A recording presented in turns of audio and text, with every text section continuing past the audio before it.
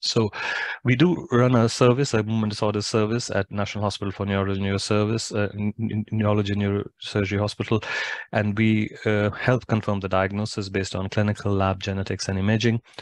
Uh, we discussed the symptomatic treatment uh, because this is where most of the world is at this point in time because there is no cure at the moment for Fahr's. What we tend to do is discuss the movement disorder, the neurological symptoms, and offer treatments which can include uh, advanced therapies like uh, botulinum toxin injections, for example, for dystonia, or some specific treatments for tremor,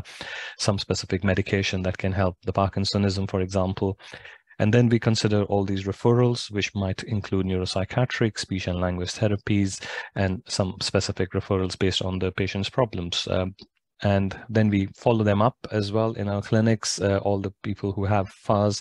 uh, because uh, we know this is a slightly progressive condition, varies, the progression varies from person to person, but it can progress, so we monitor progression and offer problem-based solutions to whatever neurological and movement disorder symptoms uh, the patients might have, and